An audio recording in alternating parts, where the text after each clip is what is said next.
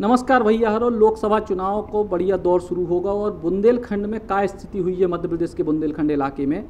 ई के लाने हमने सोची कि उन पत्रकारों से चर्चा करें जो बुंदेलखंड से आके भोपाल में राजधानी में झंडा गाड़े हैं।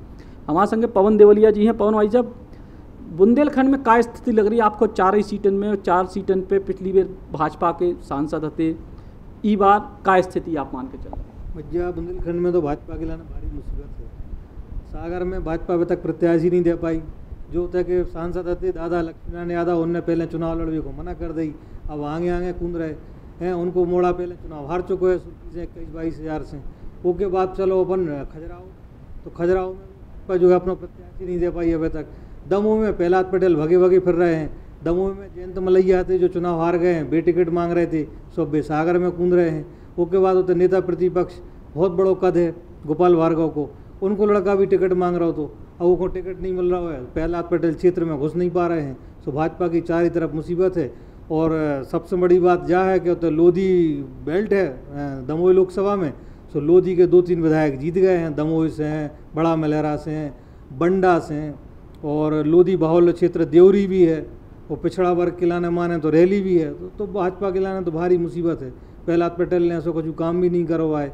ज़बरदस्ती तैसे होते भगत फिरे हुए अपनी नरसिंहपुर छोड़ के बालाघाट पहुँचे। बालाघाट से छिंदवाड़ा और छिंदवाड़ा से दमोई आ गए। भी अपनी पहुँच को फ़ायदा उठा के टिकट ले गए। अब टिकट लेने के बाद परिणाम कहाँ होना, सो भाजपा को पता है। तो कुल मिला के मुसीबत पवन भाई के हिसाब से है।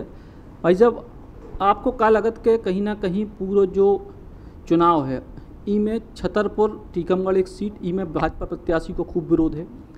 और खजुराहो सीट ई पर तो प्रत्याशी की स्थिति क्लियर नहीं है। तो ऐसी स्थिति में आपको क्या लग रहा हो कि पूरे ही क्षेत्र में का समीकरण देखो सबसे बड़ी बात है कि भा, भारतीय जनता पार्टी बहुत सियानी पार्टी है। वो एक भा, भागीरथ प्रसाद तलाश रही थे खजुराहो में। और अगर उनको दाव पड़ गो तो हो सकता कि मैं कुनवा के जो कांग्रेस प्रत्याशी बीजेपी ना देखा जाए। अब सही है कि नहीं है लेकिन ऐसी कोशिश चल रही दूसरा अगर अपन टीकमगढ़ की बात करें तो टीकमगढ़ में वीरेंद्र खटी की जो छतरपुर के नेता हैं या टीकमगढ़ के नेता वो ऐसी तैसी करे पड़े हैं। आर डी प्रजापति जो पहले बसपा से चुनाव लड़ते फिर उमा जी के साथ चुनाव लड़ो अब उनके लड़का खां दे दो? लौंडी चंदला सेन सो अब उनका लड़का होगा लेकिन वो कह रहा है कि हम हमें दो। अब अब रोज़ प्रेस कॉन्फ्रेंस कर दे कि देखो ने रेक्सा साइकिल खरीदी थी ये, पैसा खा गई मैं और फ़ोटो खिंचवाऊँ तो रात और कुछ काम वाम नहीं करो। जो तो सही है कि काम वाम तो कुछ नहीं करो ढेला को नहीं करो। और जो जो बुंदेलखंड जैसो पहलो हतो तो पचास साल पहले, आज भी वैसा ही है। ना उमा भारती ने कुछ करो और ना को और ने कुछ करो। सबसे बड़ी दिक्कत होती है कि ये है बुंदेलखंड के, चाहे वो सागर हो, चाहे दमोह हो, और चाहे खजुराहो संसदीय क्षेत्र चार पाँच ज़िले जो हैं, इतने कि कोनो नेता ने कोनो काम नहीं करो। सबसे बड़ी दिक्कत है जीत जीत के आउत रहे, चाहे वो जयंत मलैया हों, चाहे गोपाल भार्गव हों, चाहे उमा भारती हों, चाहे बहुत पहले मुकुंद सखाराम नेवालकर सत्यव्रत चतुर्वेदी, उनके मताई बाप, बाबूराम चतुर्वेदी, विद्यापति चतुर्वेदी, कन्या कछु नहीं करो। इन सब सब की कोठियाँ बन बन गई और बुंदेलखंड जैसा हो तो नेचुरल प्रोसेस में आगे बढ़ रहा हो। सबसे बड़ी बात है कि बुंदेलखंड को छतरपुर सेंट्रली लोकेट होने के कारण उत्तर प्रदेश के लोग आके, अपराध के कारण से वहाँ आके तो इकोनॉमिक एक्टिविटी तो बढ़ गई होता है कि सुपारी बहुत बड़ा धंधा है। दूसरा पेपरमेंट आपको बताएँ, मध्य प्रदेश में पेपरमेंट की सबसे बड़ा कारखाने हैं, वो छतरपुर में हैं। वो तेल ले आओ तो पेपरमेंट बनाओ वहाँ से और धीरे से सप्लाई कर दे। एक एक टैंकर पेपरमेंट का जो आउट वो 26 से 50 लाख रुपया को हो बीड़ी बहुत बड़ा धंधा है। तो इनका को अब अपडेट करने के लाने को उन्हें नहीं करो। लकड़ी बहुत है। एक ज़माने में बिजावर में धाव पत्थर मिलते जैसे पत, लोह बनत तो। आज भी होते बहुत से लोहार मिल जाए और वहाँ की करेंगे और ताले बहुत बड़ी मशहूर रहते थे। वो पहाड़ से कंजरा पहाड़ से पत्थर उठा लाते काले पत्थर और कोड़ा लगा के गलाउते और लोहा उसे निकाल करते। अब न जाने का होगा बड़े कारखाने लायक वहाँ पर पत्थर नहीं है, सो छोटे के काम ख़त्म हो गए। सबसे बड़ी दिक्कत ये है कि वहाँ के लोगों का बिल्कुल ध्यान नहीं है। उन्हें तो चरोखर मान लो बीरन खटीक सागर के चरखे वो आ गए टीकमगढ़। सबसे बड़ी दिक्कत है और दमोह दमोह पहुँच गए प्रहलाद पटेल नरसिंहपुर छोड़ के। सो बड़ी दिक्कत का है, और सबसे बड़ी दिक्कत है जो देवलिया जी ने कही कि भाजपा कौन चाहे कितने बड़ा कैडर हो कितने बड़े नेता हों। लेकिन उनके अपने आप लोग दिक्कत पैदा कर रहे वो वे एक शेर के तौर पे कहें कि घर में लगा दी आग घर के चिरागों ने। तो उनके जो नेता हैं वो एक दूसरे को निपटाने में लगे हुए तो बुंदेलखंड में जो करैया और ताले की जो आपने बात कही तो करैया तो काम आ रही पकौड़ा तलवे और ताले आ रहे चौकीदारी करवे। तो जो ही बुंदेलखंड को मिले रोज़गार के तौर पर देखिए सबसे बड़ी बात है कि जो मिलो चाहिए था वो कछु नहीं मिलो। अगर वर्ल्ड हेरिटेज के तौर पे कहें तो हम खजुराहो हमारे पास है, लेकिन हम जो गर्मियाँ आते आते बिल्कुल झंट बिल्कुल सन्नाटा हो जाता वहाँ पे कुछ होता नहीं है। दो चार होटल हैं, कुछ बंद हो गए। लेकिन सर्विस सेक्टर में कोई काम हो सका तो इंडस्ट्रीज़ लगा सकती जब हवाई जहाज़ लोगों ने देखे न थे, तब वहाँ जब जो हवाई जहाज़ आते नेपाल से, बनारस से। लेकिन सबसे बड़ी बात है कि हम सर्किट नहीं बना पाए। हमने कागजन में तो खूब से टूरिस्ट सर्किट बना दे। हम चंद चंदनगर को किलो बे- बेच दो। अबे तक वो होटल नहीं बनो। बिजावर में बना सकते दिक्कत ये है कि टूरिस्ट का रोकवे की कला जो राजस्थान से आना चाहिए, वो नहीं आई। झांसी से खजुराहो आते आते हाथबिन के करियाई टूट जाती। अब तो सड़क थोड़ी सी हो गई, लेकिन ऐसी की तैसी हो जाती। हमें खुद भोपाल से छतरपुर जा भी बजा अपने घर जाते तो वहाँ से जाके चंदेरी तरफ़ से जाते ये भी रोड से कि थोड़ी करियाई कम है वो पहले तो, दस बारह घंटा लगाते पाँच छः साढ़े छः सात घंटा लगाते। सबसे बड़ी बात है कि भाजपा का संगठन बहुत मज़बूत है। कांग्रेस के नेता वहाँ बहुत हैं लेकिन दिक्कत ये है कि दाएँ बाएँ हो गए सत्यव्रत चतुर्वेदी समाजवादी अब लड़का का टिकट नहीं मिले समाजवादी में चले गए। कांग्रेस के पास संगठन नहीं है भाजपा के पास संगठन है। तो सबसे बड़ी दिक्कत है कि जब तक पूरे प्रत्याशी सामने ना आ जाए हैं और या एकदम पिक्चर साफ़ ना हो जाए। कविता सिंह के खिलाफ भाजपा में राजा बुंदेला का नरेंद्र सिंह तोमर आगे बढ़ा रहे और संघ की तरफ़ से नंदिता पाठक आगे बढ़ रही। अब उनका टिकट मिलत कि नहीं मिलत? सागर में जयंत मलिया पे दाव लगत या और पे लगत? लक्ष्मीनारायण यादव, दादा का करत? सबसे बड़ी बात है कि घर के लोग कितो छेद कर हैं? एक और दूसरा, एक आपको प्रत्याशी कौन हो? उमा भारती को रोल का हो? उमा भारती का आप बुंदेलखंड में माइनस नहीं कर सकत। भले ही वो जब अलग हो गई थी तो हार गई हो कुछ होगा हो, लेकिन आज भी बिन्ना का को जलवा तो बरकरार है। उनको आप माइनस नहीं कर सकत। वो जब बोलती हैं तो अ, वो तो ना जैसे जादूगर होता डुबी बना के छोटा जमूरा बड़ा जमूरा करके वो ना काम कर लेती तो सबसे बड़ी बात है कि नेता ने वहाँ बहुत कुछ काम नहीं करो। उमा भारती को आप माइनस नहीं कर सकत। और तीसरा कांग्रेस को संगठन जो है, वो शून्य बटा सन्नाटा पे टिका हुआ है। अब कैसे क्या हो? ये जब प्रत्याशी आ जाएँ, थोड़ा माहौल बन जाए। एक्चुअली बारात जब चलत ना तब माहौल नहीं हो। थोड़ी देर में नगड़िया बजत ना तो फिर आदमी नाचते नांगन डांस करके अपना पौआ वो लगा के। तो अभी हो जाते चालू हो जाते देखा थे फिर। तो अब दूल्हा तय हो जाए के बाद जो है कहूँ ना कहूँ स्थिति क्लियर हुई है। दमोह की क्या स्थिति आप माना तो अभिषेक भाई? दमोह से आप लंबे समय से जुड़े हो, आपका जन्मस्थल भी है। दमोह की क्या स्थिति आप मान रहे दमोह में जिस हिसाब से प्रहलाद पटेल को विरोध है, वो विरोध भारी पड़े, या फिर जो प्रताप सिंह लोधी को टक्कर देवे की स्थिति में आप हैं? प्रताप सिंह लोधी अपने आप में ज़मीन से जुड़े नेता हैं, प्रहलाद पटेल भी कद्दावर नेता हैं, लेकिन कुछ चीज़ें पिछले समय में जो हुई हैं, जैसे स्पेशली जैसे जयंत मलैया जी की पराजय, राहुल सिंह का उदय बड़ा मलेरा से प्रद्युमन सिंह, बंडा में भी लोधी विधायक, जबेरा में भी लोधी विधायक। तो जबेरा इकलौती सीट है जो कांग्रेस हारी, लेकिन जो हारे वही लोकसभा प्रत्याशी हैं प्रताप सिंह लोधी। सो जो कॉम्बिनेशन बहुत खतरनाक बनने वालों है और ज़मीन में प्रहलाद पटेल को करो काम दिखा नहीं रहो और देवेंद्र चौरसिया हत्याकांड के बाद भी होते भी काफ़ी विरोध है, कई किस्म के लोगों को विरोध है होते पे। सो ये सारी चीज़ें उनके खिलाफ तो निश्चित तौर पर जे हैं।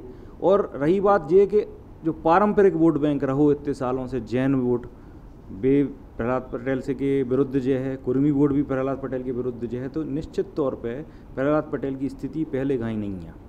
प्रहलाद पटेल की स्थिति पहले कहीं नहीं है। हमारे संगे देवदत्त दुबे जी हैं जो सागर और दमोह दो ही जगह बिल्कुल टकटकी सी लगाए रथ।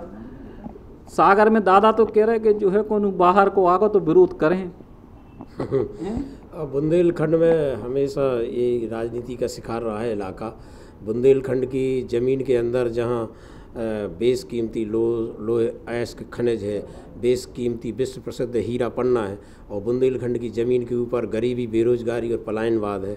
और यहाँ का जो नेतृत्व है वो हमेशा दबाया गया है। कभी कभी षडयंत्र के द्वारा और कभी कभी राजनीतिक कुचक्र चल के क्योंकि बहुत सौ डंडी एक बुंदेलखंडी कहा जाता रहा है। बुंदेलखंडी जहाँ भी जाता अपनी धमक बनाता है। तो तमाम राजनीतिक दलों को ये आशंका रहती कि बुंदेलखंडी एक बार उभर के आ गया, फिर कैसा होगा? जैसे उमा भारती ने 2003 में मध्य प्रदेश में किया था, उसके बाद वो ज़्यादा दिन टिक नहीं पाई। दोनों दलों के नेताओं ने मिल के उनको एक षडयंत्र के तहत हटा दिया गया। और जब जब बुंदेलखंड का नेता पनपता है ऊपर उठता है तो उसके पर कतरने के प्रयास होते हैं। ऐसा ही कुछ हुआ है पिछले कुछ दिनों में। अब एक बार फिर खतबदा रही बुंदेलखंड की राजनीति। जिन नेताओं ने, जिन सरकारों ने बुंदेलखंड की गरीबी, बेरोजगारी और पलायन पे कुछ नहीं कर पाए, वो अब वहाँ जाति का खेल खेल रहे हैं। जबकि बुंदेलखंड में बहुत खुददारी है।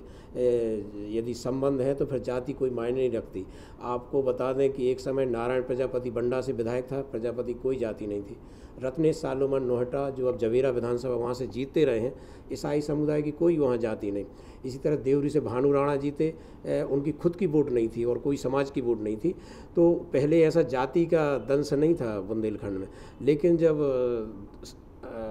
इन पार्टियों ने देखा कि इससे तो बात बनने वाली नहीं है तो अब जातियों का खेल शुरू हुआ है। सागर में जैसा आपने कहा कि दादा दम में ठोक रहे तो अब जब सबने जातियों की बात शुरू की, दलों ने तो नेताओं ने भी शुरू कर दी।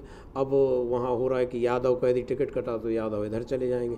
जैन समाज कह रहा है, पूरे देश में एक भी जैन को टिकट नहीं मिला, हमें यहाँ सागर से जैन टिकट मिलना चाहिए। पिछड़ा वर्ग का कार्ड चल रहा तो ब्राह्मण समाज भी खत बता रहा है कि उसके लिए बहुत उपेक्षा हो रही जबकि बुंदेलखंड में चारों सीटों पर लगभग आठ नौ लाख ब्राह्मण वोटर है, जो कि निर्णायक है। की वोटर माना जाता है बुंदेलखंड में। पंडित जी गाँव में यदि सोलह घर की एक कहानी सुना दें तो फिर वो पोलिंग वो ही जीतेगा जहाँ पंडित जी चाहेंगे। तो बहुत बड़ा एक, जो षडयंत्र है, वो अब उजागर होगा कि कौन कैसे प्रत्याशी देते हैं। जमावट इसकी विधानसभा चुनाव के समय ही शुरू हो गई थी। जैसे आप दमोई लोकसभा की बात करेंगे बुंदेलखंड में जब कांग्रेस पार्टी ने देखा कि उमा भारती एक लोधी नेता है, दूसरे प्रहलाद पटेल, तमाम लोधी भाजपा से जुड़े हैं तो उन्होंने विधानसभा चुनाव में छः लोधी प्रत्याशी पूरे बुंदेलखंड में उतारे। जी में चार अकेले तो दमोह लोकसभा से थे और तीन जिसमें जीत गए, बड़ा मलहरा, बंडा और दमोई से लोधी जीत गए, जबकि जबेरा से जो लोधी हारे हैं, प्रताप सिंह लोधी, उन्हीं को उन्होंने लोकसभा का प्रत्याशी बना दिया। तो एक तरह से कांग्रेस ने लोधी वोटों पर सेंध लगाने के लिए ये पूरा खेल खेला और अब वहाँ जातियों के गणित चल रहे हैं। और जो जैसा बोया है, वैसे दल काटेंगे। अब दलों को, उन जातियों की शक्ति और उनका वो अहंकार सुनने को मिल रहा है। अब एक जाति को आप इग्नोर करोगे, दूसरी जाति भैया अपनी आँख दिखे, अपनी शक्ति दिखे। अब जातियों के जंजाल में बुंदेलखंड को जकड़ा जा रहा है। लेकिन बुंदेलखंडी आज भी समझता है कि वो खुददारी के साथ स्वाभिमान के साथ अपने काम पे अपने पुरुषार्थ के बल पे वोट चाहता है और नेतृत्व चाहता है। तो कुल मिला के जातिगत आंकड़े की जो बात करी अब देवदत्त भाई ने नौ मुद्दा उठा कि बुंदेलखंड में अब जाति मुद्दा है।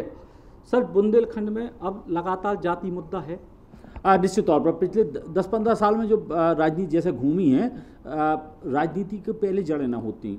पहले हमारे घर में जो हलवाई होते, काम करवाए होते हैं, वो कौन जाति के हों, उनके हम पैर होते काका, चाचा होते। लेकिन जब से जो चाहे राम जी महाजन हो, चाहे मंडल, कमंडल आए हों, मंडल कमीशन आए, तब से जातियों, जातियन के और फिर के हमने तलाश लाए। और राजनेताओं ने इसका और पुख्ता कर दो। आप बात करो, जैसे भोपाल की बात करो तो तत्कालकात के मुसलमान कितने हैं, और बामन कितने हैं, और लाला कितने हैं? जो कोई निकात की डेवलपमेंट कितो है, और तुम्हारा एजेंडा का है? जैसे हम बात करें सो तत्काल तत्काल राजनीतिक दल हिसाब लगाओ फट से कि अरे पंडित जी इतने हैं और ठाकुर साहब इतने हैं और लाला जी इतने हैं। सो सबसे बड़ी दिक्कत है कि जो जहर है वो राजनेताओं ने और राजनीतिक दलों ने अपने हिसाब से। अब वो ऐसा होगा कि अब वो दल दल दलों सबसे बड़ी दिक्कत क्या हो दलों की अपनी जातियाँ हो गई और, और नेताओं की अपनी जातियाँ हो गई और ने और जातियों के अपने नेता हो गए। जैसे दलों के दलों की जातियाँ जैसे अब समाजवादी पार्टी सो उनने कहा कि जब अहिरन की पार्टी या यादवन की पार्टी या उन्होंने कहा माया मायावती की पार्टी तो उन ना कहें उनकी तो जो, जो जाते उन, वो वोट उनके हो जात का फंस जाए उनमें चक्कर में आके। फिर अगर उन्होंने कहा भारतीय जनता पार्टी बड़ी देश और समाज की बात कराता रहा लेकिन जैसे ही आपने देखो पिछले तीन मुख्यमंत्री मध्य प्रदेश में भाई कहाँ के भाई वो ओबीसी थे चाहे उमा भारती हों, चाहे बाबूलाल हों चाहे शिवराज सिंह चौहान हों तो भैया दस दस जातियाँ तो पैदा तुम कर रहे और उनको जहर हमें पिलवा रहे सबसे बड़ी दिक्कत है कि पंद्रह एक साल में देश का बर्बाद कर दो जात ने। और अब तो ने टिकटें के हिसाब से मिलत क्या आपकी जात क्या है? या दिल्ली में आपकी पहुँच क्या है? तो दोनों खराब काम है।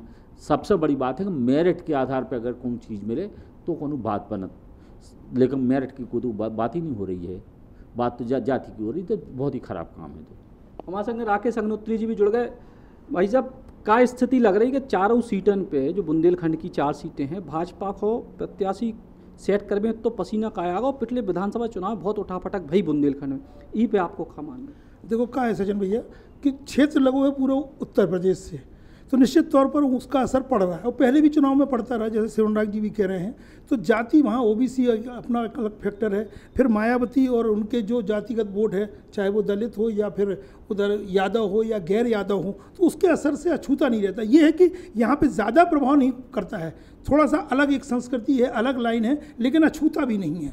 और जो चारों सीटें हैं, पिछले चुनाव में विधानसभा में देखो, या उसके पहले का ट्रैक रिकॉर्ड उठा के देखो भाजपा के सरकार में रहते चुनाव देखो और आने के पहले देखो तो उन सीमा पर कहीं ना कहीं मायावती का और अखिलेश का फैक्टर काम करता रहा है। और अब जब यूपी के में योगी सरकार है, और मायावती और इन लोगों का गठबंधन हो गया है, अखिलेश का, अजीत सिंह का, इन लोगों का, और उसमें कांग्रेस अलग है तो कहीं ना कहीं वो उम्मीदवार उनकी पार्टी का अगर संयुक्त उतरता है तो कोई ना कोई तो असर छोड़ेगा। माने भाजपा के गणित को भी बिगाड़ सकता है, कांग्रेस को भी बिगाड़ सकता है।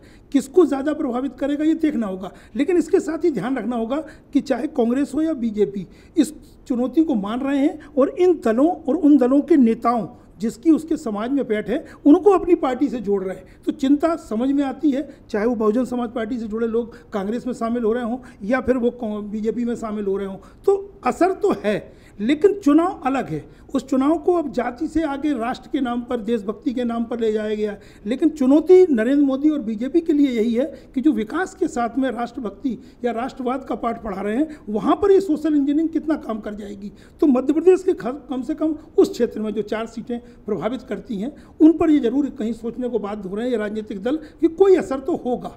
और सोशल इंजीनियरिंग जो बहुत पहले कही जाती थी वो काम करती है, उससे राजनीतिक दल उसको उसको कहीं ना कहीं उसको एक उस, उसको जोड़कर ही चलते हैं।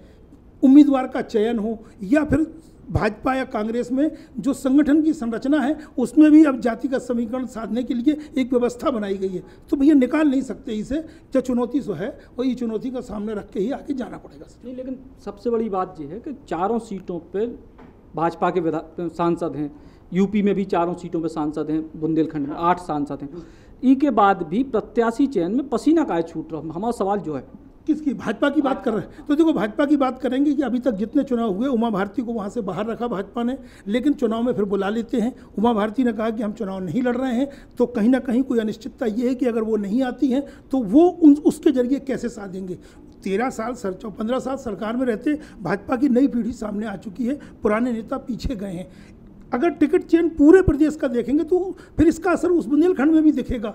अगर मान लो तो भोपाल से शुरू करते हैं कि अगर भोपाल में टिकट नहीं ला पा रहे दिग्विजय सिंह के सामने तो बिरसा उससे जुड़ी है। बिरसा तक पहुँचते हैं तो राजगढ़ के साथ सागर जुड़ जाती है और सागर के साथ उसका प्रभाव खजुराहो में दिखाई देता है। तो ये असर से कहीं ना कहीं ये है कि अगर वो समीकरण बनाना है तो उधर ब्राह्मण है तो उधर ठाकुर है तो उधर ओबीसी है, उधर दलित है, कुछ सीटें आरक्षित हैं तो सोच रहे हैं। और फिर उनकी नज़र ये है कि भैया पहले कांग्रेस को आ जाए, सो हम आगे बढ़ें, या कांग्रेस को नहीं मिल रहा है ये हम अपने संगे जोड़ लें, या को, का अच्छा हो सकत। वहाँ सोच रहे को चार बार सोच रहे एक और आखिरी सवाल के आप सब लोगों से कि उमा भारती जी को चुनाव नहीं लड़वो जो का मायने रखत मध्य प्रदेश की राजनीति में बुंदेलखंड की राजनीति देखिए उमा भारती के बारे में एक चीज़ बहुत आप साफ़ समझ लो।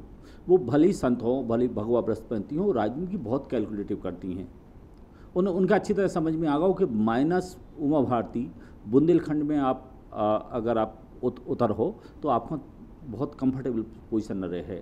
तो वो अपनी पॉलिटिकल बार्गेनिंग कर रही मेरे हिसाब से। भल, भले ही वो पद यात्रा कर रही नर्मदा गंगा यात्रा कर रही लेकिन गंगा यात्रा का, के पीछे भी उनका संदेश एक ही ये साफ़ है। दरअसल वो अच्छी तरह जानती हैं। राजनेता राजनीति नहीं करेगा तो करेगा क्या? भारत झोंके झोंके ना भी। सो राजनीति कर रही विशुद्ध रूप से कि अगर आप हम हमें खड़ो करने तो फिर हमारे पसंद के आदमी लाओ। अगर हम हमारी मदद चाहें सो जैसो हम कहें वैसे करो। सो हमें लगा कि बहुत होशियारी बिन्ना धीरे धीरे आगे बढ़ रही हैं। उमा भारती जी बहुत होशियारी से बढ़ रही है अपने पसंद का आदमी लेकिन झांसी में तो बिल्कुल नए प्रत्याशी को मतलब जो उमा भारती का जिनसे दूर दूर तक लेना देना नहीं ऐसे आदमी को टिकट दी भाजपा ने। आपको काम मान वो है कि उमा जी की वर्तमान राजनीति को का स्टेटस उमा भारती अपने बुंदेलखंड की बहुत बड़ी नेता है। ये में कोई दो मत नहीं है। भारतीय जनता पार्टी के नेताओं ने 2003 के बाद जो वे जीत के आई थी और कैसे षडयंत्र से उनको हटाओ? जब बात सही है कि वे कौन की नहीं सुना तो उनके मन में जो बात है, वह राजनीति भी करते हैं। मगर जावी सही है कि वे संघ की भी बहुत मानत हैं। और संघ की मानत है के कारण उनकी संघ में वापसी हुई और केंद्र सरकार में मंत्री हैं, डंके की चोट पर मंत्री बनी, काम करें या न करें। मगर वे नेता बहुत बड़ी हैं। आपको क्या मान में राकेश जी कि उमा जी ने जो क्विट करी कि हम चुनाव नहीं लड़ रहे। जो सुमित्रा महाजन, मुरली मनोहर जोशी टाइप को क्विट है कि प्रेशर बना होगा या या उनकी अपनी मर्ज़ी? मुझे लगता है वक्त का तकाजा है, जो बात आदरणीय सेवनराग जी कह रहे हैं कि उमा जी राजनीति को भाप लेती हैं। केंद्रीय मंत्री रहते हैं, उनके कामकाज की जब बात समीक्षा की होती है तो कुछ सवाल खड़े होते हैं। लेकिन वो बात फिर गंगा की करती हैं तो वो एक दिशा दे रही हैं कि हिंदुत्व या हिंदुत्व से जोड़ने वाली या उनसे जुड़ी चीज़ों पर उनकी अभी निकटता, आस्था और समर्पण है, और ये संघ का एजेंडा है। तो वो संघ को भरोसे में लेकर के कोई मतलब सीधे तौर पर अमित शाह या मोदी से कोई पंगा नहीं ले रही, लेकिन पंगा लेने में कोई कसर भी नहीं छोड़ रही। और अपने समर्थकों और अपने मतदाताओं को ये संदेश दे रही हैं कि मेरे पास उम्र है, इंतज़ार करिए, वक्त सही होगा, तब मैं सामने होंगी। और पहले विचारधारा और सिद्धांत की लड़ाई के नाम पे उस गंगा की बात कर रही हैं, जिसको पाँच साल तक मोदी जी ने प्राथमिकता में लिया था। लेकिन उसके रिज़ल्ट को लेकर के फिर वही बात कह रहा हूँ, कुछ सवाल। रही बात मध्य प्रदेश में बुंदेलखंड की और उत्तर प्रदेश की तो शायद वो मध्य प्रदेश से बाहर ज़रूर गई हैं। लेकिन चुनाव में उनकी ज़रूरत का है? भाजपा की ज़रूरी का है भैया? चाहे मजबूरी का है। चाहे शिवराज रहे हों, चाहे फिर ऊपर गडकरी रहे हों, राजनाथ रहे हों, बुंदेलखंड में उनका हस्तक्षेप रहा है। चाहे वह ट्रेन चली हो झांसी से, खजुराहो पहुँची हो, चाहे वो केन बेतवा की बात हो, उनका फोकस उस पर रहा है। तो मुझे लग रहा है कि एक उम्र उनके साथ है, उनका एक आत्मविश्वास है, वो बदलती हुई परिस्थितियाँ और बदलती हुई बीजेपी, उनकी पैनी नज़र है तो कुछ सोच समझ के उसको प्रेशर पॉलिटिक्स भी कह सकते हैं, या उनकी फिर दूरदर्शिता भी कह सकते हैं कि थोड़ा उन्होंने पीछे रखा है, लेकिन यह तय है कि वो आगे आने के लिए पूरा एक कोई रणनीति के तहत आगे बढ़ रही हैं। तो ये थे कुल मिला के पूरे बुंदेलखंड के सियासी समीकरण जो हमने समझने की कोशिश करी, वरिष्ठ पत्रकार जो बुंदेलखंड से भोपाल में हैं, मध्य प्रदेश की राजधानी में हैं, और भी तमाम तरह के विश्लेषण पूरे लोकसभा चुनाव तक आप तक ले आए, जो हमारा पूरा आप लोगों से भरोसा है और भोपाल से लेकर पूरे बुंदेलखंड तक बुंदेली बौछार आपको जागरूक करते रहे। सचिन चौधरी, बुंदेली बौछार के नाम सागरश्री संभाग का प्रथम एनएबीएच सुपर स्पेशलिटी हॉस्पिटल जहाँ मिलेगी आपको एडवांस्ड मशीनरी आधुनिक CT scan digital x ray 1.5 tesla MRI machine 24 घंटे आपातकालीन फार्मेसी सर्विसेज़ एवं एंबुलेंस सागरश्री में संभाग का पहला लेवल वन ट्रामा सेंटर संभाग का पहला मॉड्यूलर ऑपरेशन थिएटर संभाग का पहला फिक्स कैथलैब आधुनिक शिशु इकाई। सागर श्री में अब सारे रोगों का एक ही छत के नीचे इलाज और आपके अपनों के लिए ढेर सारा समर्पण। आयुष्मान भारत योजना के अंतर्गत आने वाले सभी मरीजों का निशुल्क इलाज। सागर श्री हमारा उद्देश्य आपका स्वास्थ्य सदैव आपकी सेवा में तत्पर।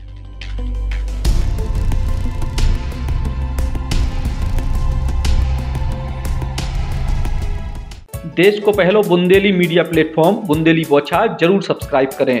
सब्सक्राइब बटन दबाएँ इसके बाद बेल आइकॉन दबाएँ और बुंदेली बोछार की पूरी जानकारी समाचार पाएँ।